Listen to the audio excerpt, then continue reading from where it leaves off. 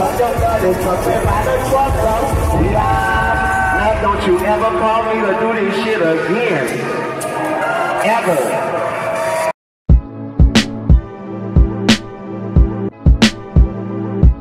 So everyone, it's DomisLive and welcome to DomisLive News and I hope you mother suckers are doing great today. Now, the story that I have for you guys today is going to be about Lil Wayne. And I don't know what's up with this dude. One day he's having seizures. The next day he's walking out of concerts. The next day He's punching bouncers in the back of the head. Lil Wayne was set to perform at the High Times Festival. Now, if you guys have no idea what the High Times Festival is, it's a place where people get together and they inject marijuanas in their veins and they also just have a great old time. Lil Wayne is known as being one of those artists who does partake in such thing as, as cannabis and, and other drugs. So everyone there at the High Times Festival found it weird that Lil Wayne decided to walk off stage. Yes, Lil Wayne performed for about 10 minutes and 30 seconds. Now, he was supposed to do one hour, but he said, screw that, I'm just gonna walk off stage. And this is what happened. Now don't you ever call me to do this shit again. Ever. Don't you ever, ever, ever ask me to do this shit again.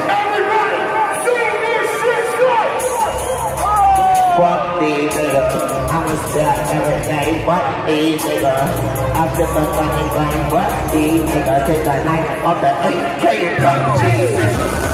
Yeah. And fuck these bitches. I smack these bitches.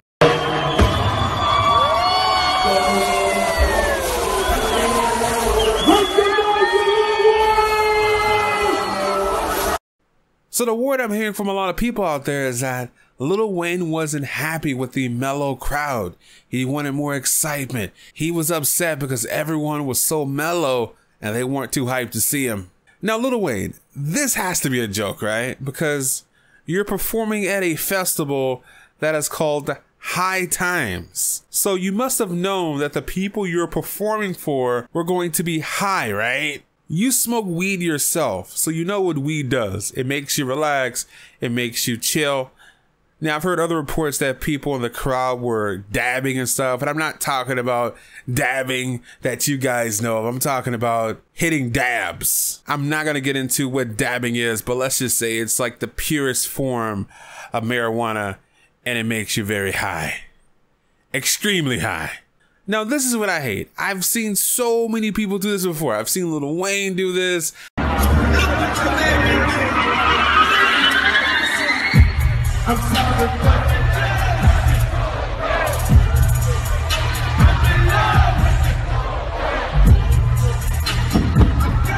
I've seen Future get upset.